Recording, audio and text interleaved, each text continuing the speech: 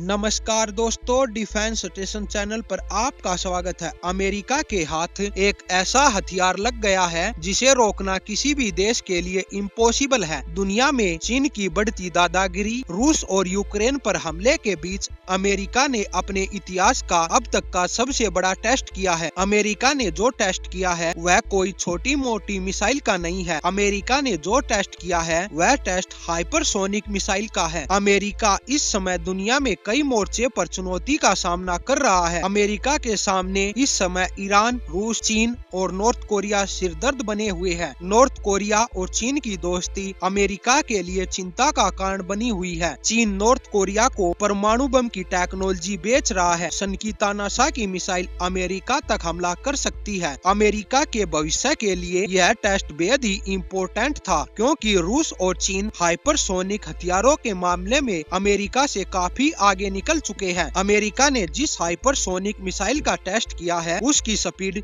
चौबीस हज़ार किलोमीटर प्रति घंटा है। यानी कि अमेरिका की यह हाइपरसोनिक मिसाइल दुनिया में किसी भी देश को पल भर में नष्ट करने की क्षमता रखती है। अमेरिका ने जिस हाइपरसोनिक मिसाइल का टेस्ट किया है, वह एक बूस्ट ग्लाइड मिसाइल है। अब आप कहेंगे कि बूस्ट ग्लाइड क्या होता है? इसका मतलब होता है कि बूस्ट रॉकेट के ज़रिए परमाणु वार हेड को हाइपरसोनिक गति तक लेकर जाता है और कुछ दूरी पर जाने के बाद व्हीकल और बूस्टर अलग हो जाते हैं और बूस्टर अपने टारगेट पर जाकर हमला करता है। हाइपरसोनिक हथियार बनाना कोई बच्चों का खेल नहीं है। यह एक बेहद ही जटिल टेक्नोलॉजी होती है। हर कोई देश इस टेक्नोलॉजी को नहीं बना सकता। अमेरिका के इस हाइपरसोनिक हथियार को लोकिड मार्टिन ने बनाया है। इस मिसाइल को बनाने के दौरान अमेरिका को कई बार निराशा हाथ लगी थी। यह हथियार भविष्य का हथियार है और जो देश इस टेक्नोलॉजी में महारत हासिल कर लेगा, वह देश सुपर पावर बन जाएगा। हाइपरसोनिक हथियार ध्वनि की गति से हमला करती है। हाइपरसोनिक मिसाइल में क्रूज मिसाइल और बैलिस्टिक मिसाइल दोनों की खूबी होती है। एक साधारण मिसाइल अंतरिक्ष में जाकर अपने लक्ष्य पर हमला करती है। यह मिसाइल यात्रा के दौरान कोई मूवमेंट नहीं करती, जिसके कारण इस मिसाइल को एयर डिफेंस सिस्टम से ट्रैक करके आसानी से मार कर गिराया जा सकता है। हाइपरसोनिक मिसाइल को खास तरह से डिज़ाइन किया जाता है, जिसके कारण यह मिसाइल तेज गति से उड़ान भरती है। हाइपरसोनिक मिसाइल अपने लक्ष्य पर हमला करने के दौरान दाएँ बाएँ और ऊपर नीचे मूवमेंट करती है, जिसके कारण इस मिसाइल को रोकना किसी के लिए भी आसान काम नहीं है। आने वाले कई सालों तक इस मिसाइल को रोका नहीं जा सकता। हाइपरसोनिक मिसाइल परमाणु और गैर परमाणु हमला कर सकती है। यह मिसाइल किसी भी देश को पल भर में नष्ट करने की क्षमता रखती है। अमेरिका की इस महाविनाशक मिसाइल से बचना रूस और चीन के लिए आसान नहीं होगा। हालाँकि इस सब के बारे में आपका क्या कहना है, कमेंट करके बताएँ और चैनल को सब्सक्राइब करें और साथ में बेल आइकन को भी दबाएँ।